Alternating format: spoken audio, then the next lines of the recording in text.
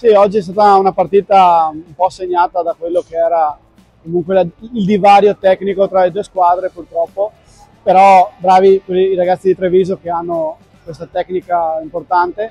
Noi abbiamo fatto il nostro meglio per poter arrivare a giocare un po' alla pari,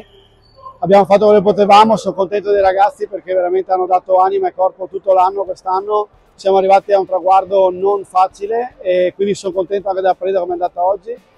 sono stati veramente bravi. Adesso c'è la fase regionale, speriamo di dare il massimo anche lì, di migliorare sempre. Sicuramente lo faranno perché sono veramente eh, testardi, coraggiosi e hanno voglia di imparare, quindi speriamo che vada tutto per il meglio.